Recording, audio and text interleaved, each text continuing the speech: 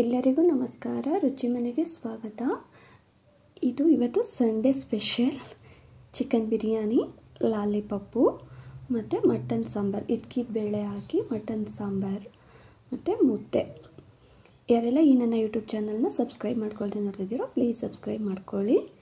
ಈಗ ಮಟನ್ ಸಾಂಬಾರಿಗೆ ರೆಡಿ ಮಾಡ್ಕೊಳ್ಳೋಣ.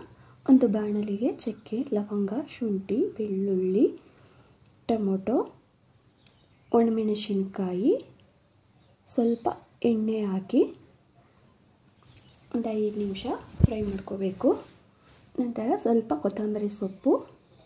ಕೊತ್ತಂಬರಿ ಸೊಪ್ಪು ಹಾಕಿ ಎಣ್ಣೆಯಲ್ಲಿ ಈರುಳ್ಳಿ ಬ್ರೌನ್ ಕಲರ್ ಬರೋ ತನಕ, ಟೊಮೊಟೊ ಎಲ್ಲ ಸಾಫ್ಟ್ ಆಗೋ ತನಕ ಒಂದು ಐದು ನಿಮಿಷ ಫ್ರೈ ಮಾಡ್ಕೋಬೇಕು. ಇವಾಗ ಒಂದು ಕುಕ್ಕರಿಗೆ ಸ್ವಲ್ಪ ಎಣ್ಣೆ, ಒಂದು ಅರ್ಧ ಈರುಳ್ಳಿ ಸಾಕು. ಒಂದು ಅರ್ಧ ಈರುಳ್ಳಿ ಸಣ್ಣಗೆ ಹೆಚ್ಕೊಂಡು ಒಗ್ಗರಣೆಗೆ ಅರ್ಧ ಈರುಳ್ಳಿ ಸ್ವಲ್ಪ ಕರಿಬೇವಿನ ಸೊಪ್ಪು, ಒಂದು ಚಿಕ್ಕ ಟೊಮೊಟೊ.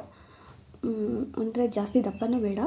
ಒಂದು ಚಿಕ್ಕ ಟೊಮೊಟೊ ಹಾಕಿ ಒಗ್ಗರಣೆ ಮಾಡಿಕೊಂಡು ಮಟನೆಲ್ಲ ತುಳ್ಕೊಂಡಿರ್ತೀವಲ್ಲ, ಅದನ್ನು ಸೇರಿಸಿ ಒಂದು ಹತ್ತು ನಿಮಿಷನೇ ಎಣ್ಣೆಯಲ್ಲಿ ಫ್ರೈ ಮಾಡ್ಕೋಬೇಕು. ಮಟನಲ್ಲಿ ನೀರೆಲ್ಲ ಬಿಟ್ಕೊಳ್ಳೋ ತನಕ ಫ್ರೈ ಮಾಡ್ಕೋಬೇಕು.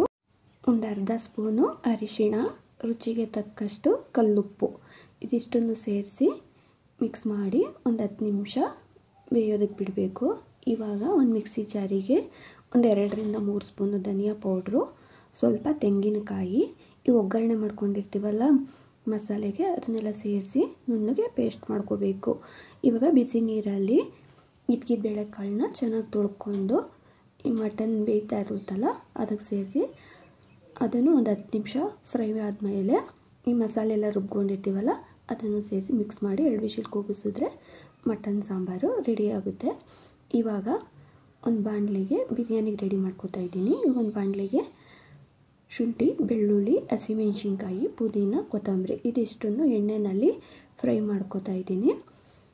ಇವಾಗ ಒಂದು ಕುಕ್ಕರಿಗೆ ಪಲಾವ್ ಮಸಾಲೆ, ಅಂದರೆ ಚಕ್ಕೆ, ಲವಂಗ, ಕಸ್ತೂರಿ ಮೇಥಿ, ಪಲಾವ್ ಎಲೆ, ಕಾಶ್ಮೀರಿ ಮೊಗ್ಗು ಎಲ್ಲ ಸೇರಿಸಿ ಈ ಥರ ಮಸಾಲೆ ರೆಡಿ ಮಾಡಿಕೊಂಡು ಬಿರಿಯಾನಿ ಮಾಡಿದ್ರು. ತುಂಬ ಚೆನ್ನಾಗಿರುತ್ತೆ ಟೇಸ್ಟು. ಒಮ್ಮೆ ಟ್ರೈ ಮಾಡಿ ನೋಡಿ.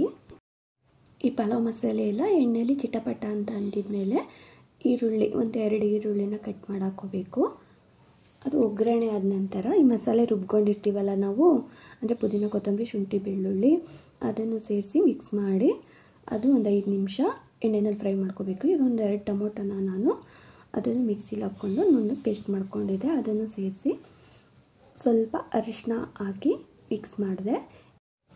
ಮಿಕ್ಸ್ ಆದ ನಂತರ ಇವಾಗ ಚಿಕನ್ನ ಸೇರಿಸಿ ಒಂದು ಹತ್ತು ನಿಮಿಷ ಮಸಾಲೆ ಜೊತೆಗೆ ಫ್ರೈ ಆಗಕ್ಕೆ ಬಿಡಬೇಕು. ಇವಾಗ ಸ್ವಲ್ಪ ಬಿರಿಯಾನಿ ಮಸಾಲೆ, ಸ್ವಲ್ಪ ಮೊಸರು ಹಾಕಿ ಅದನ್ನು ಒಂದು ಹತ್ತು ನಿಮಿಷ ಬೇಯಿಸ್ಕೋಬೇಕು. ಇವಾಗ ನಮ್ಗೆ ಎಷ್ಟು ಬೇಕೋ ಅಷ್ಟು ಅಕ್ಕಿನ ತೊಳೆದು ಹಾಕ್ಕೊಂಡು ಇವಾಗ ನೀರು ಮಿಕ್ಸ್ ಮಾಡಿ ಅದೊಂದು ಕುದಿ ಬಂದ ನಂತರ ನಾವು ಕುಕ್ಕರ್ ಮುಚ್ಚಳ ಮುಚ್ಚಿದ್ರೆ ಅದನ್ನು ಬಿಡಿಬಿಡಿಯಾಗಿ ಬಿರಿಯಾನಿ ತುಂಬ ಟೇಸ್ಟಿಯಾಗಿ ಚೆನ್ನಾಗಾಗುತ್ತೆ.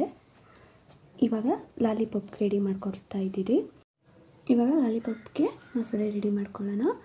ಒಂದು ಪಾತ್ರೆಗೆ ಕಬಾಬ್ ಪೌಡ್ರು ಅಚ್ಕಾರದ ಪುಡಿ, ಬಿಳಿ ಎಳ್ಳು, ಕಸ್ತೂರಿ ಮೇಥಿ ಸ್ವಲ್ಪ ಅಕ್ಕಿ ಹಿಟ್ಟು, ಸ್ವಲ್ಪ ಕಾನ್ಫ್ಲೋರು, ರುಚಿಗೆ ತಕ್ಕಷ್ಟು ಉಪ್ಪು ಎರಡು ಮೊಟ್ಟೆ ಇದಿಷ್ಟನ್ನು ಸೇರಿಸಿ ಮಿಕ್ಸ್ ಮಾಡಿ ಸ್ವಲ್ಪ ಶುಂಠಿ ಬೆಳ್ಳುಳ್ಳಿ ಪೇಸ್ಟು ಇದಿಷ್ಟನ್ನು ಸೇರಿಸಿ ಮಿಕ್ಸ್ ಮಾಡಿ ಲಾಲಿಪಾಪ್ ಹಾಕಿ ಎಲ್ಲ ಮಿಕ್ಸ್ ಮಾಡಬೇಕು.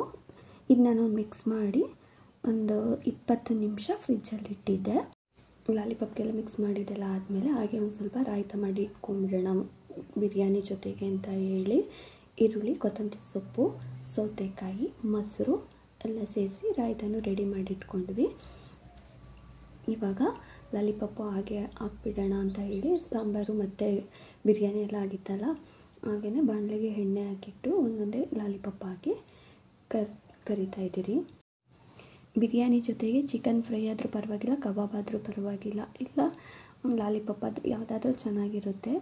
ಅಂದರೆ ಮಟನ್ ಮನೇಲಿ ಮಕ್ಕಳು ಯಾರು ಮಟನ್ ತಿನ್ನಲ್ಲ ಚಿಕನ್ ಬೇಕಲ್ಲ ಅಣ್ಣಾಗ ಮಾತ್ರ ಮಟನ್ನು. ಮಕ್ಕಳಿಗೆ ನಮಗೆಲ್ಲ ಚಿಕನ್ ಬೇಕು ಅಂತ ಹೇಳಿ ನಾವು ಚಿಕನ್ ತರಿಸ್ಕೊಂಡಿದ್ವಿ.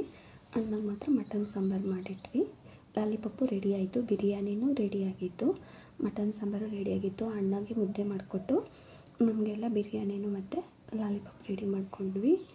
ಇಲ್ಲಿಗೆ, ಇವತ್ತಿಗೆ ಈ ಸಂಡೇ ಬ್ಲಾಗ್ ಎಂಡ್ ಆಗುತ್ತಿದೆ.